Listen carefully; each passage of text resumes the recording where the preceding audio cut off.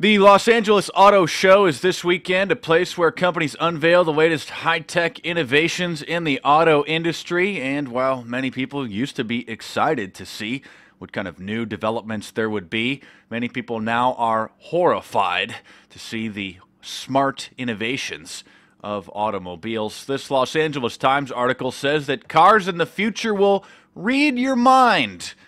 You may be aware most new cars now have microphones built into them that can be tapped into remotely. Some people are actually proposing putting facial recognition scanning systems in vehicles, and as this uh, article explains, people are now developing systems that will listen to you in your car and, quote, if the children are screaming in the back seat, the car would know to switch programming from loud music to trivia or a joke an intuitive interface might pull in points of interest from the outside environment, turning it, in, turning it into a game to keep the kids occupied. That's right, folks. You need your new smart artificial intelligent car to determine whether or not you need to turn the music off and turn on some cartoons for the kids. Let your smart car raise your kids. By the way, there are companies that have developed new wearable baby monitors for children. It's an ankle bracelet for your kids that measure the audio levels in the room and how many times and how often the baby is moving around. Uh, measures the temperature in the room. That's right, folks. You don't need to be parents anymore. Just let your new ankle baby monitor raise your children. Your car may be invading your privacy. This is old news.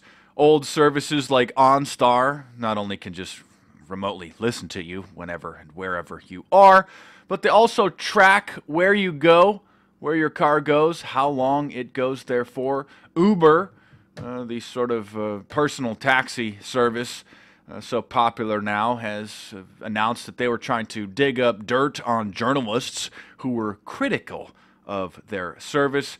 And the company according to internal reports, has been tracking the sex lives of people who use the service. Oh, that's right. They're Uber's dirt diggers. That's what we need is just more Orwellian invasions. Have you he- heard of Amazon Echo? That's right. They want this uh, new artificial intelligent personal assistant to be uh, seated on your um, on your nightstand right next to your bed and in the living room and put one in the kitchen too, folks. It's always listening to you with uh, artificial intelligence voice recognition system. Oh, it's the computer of the future.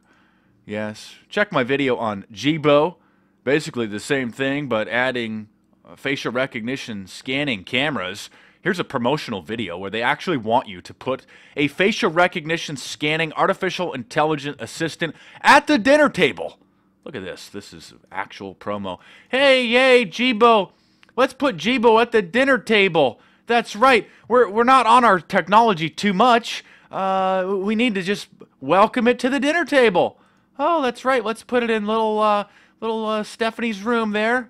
That's great. Yay! Let's put an artificial facial recognition scanning system in her bedroom. It worked out so well for Cassidy Wolf, Miss Teen USA, who had her webcam hacked into and had naked pictures of her taken, and then she was attempted to have ex- be extorted by one of her personal classmates. Do I need to point out that Samsung's new smart television records your quote personal conversations?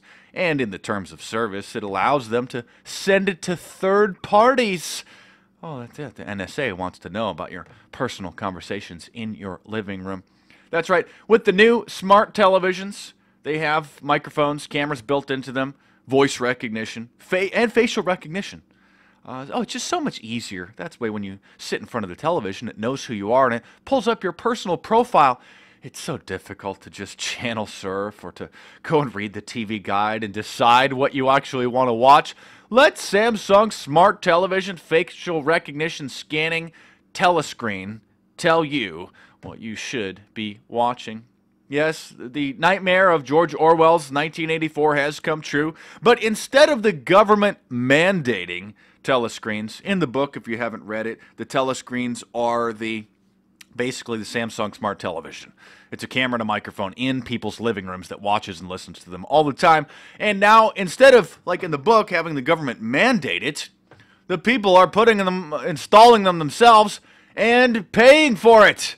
They're paying for their own slavery. Do I need to cover car hacking again? No. Check my previous video on car hacking, the possible likely murder of Michael Hastings, because with this Orwellian invasion into the automotive industry, cars can literally be hacked into, just remotely taken over, cause them to crash, cause the brakes to be disabled, cause the pedal to just hit the metal, and with the accident assist and electronic uh, power steering, just, you know, just cause you to crash over into the side of the road at any time. Uh, yeah, yeah. So you know, that's what happened most likely to Michael Hastings, an award-winning Rolling Stone journalist who uh, his reporting was just poking a little bit too deep, you know, just uh, causing a little bit too many problems for the establishment. So this new Orwellian automotive tech must be shunned it might just be too late. I mean, just look at the degenerate public. They're actually paying for their own enslavement. They're putting facial recognition scanning cameras on the dinner table and in their children's bedroom. I don't really know what else I can say about this. Subscribe to my YouTube channel if you're new. Check out some of the previous videos in the playlist. My book, Big Brother, The Orwellian Nightmare Come True, covers all of this and more in paperback on Amazon.com or download it onto any Orwellian tablet. Check out my new book, actually, Inside the Illuminati Evidence, Objectives, and Methods of Operation. Really, the definitive book on the Illuminati conspiracy. Over 300 pages, 10 years of research poured into that book. Pick it up now in paperback or download it onto any tablet or e reading device. Stay tuned, there's more videos coming soon.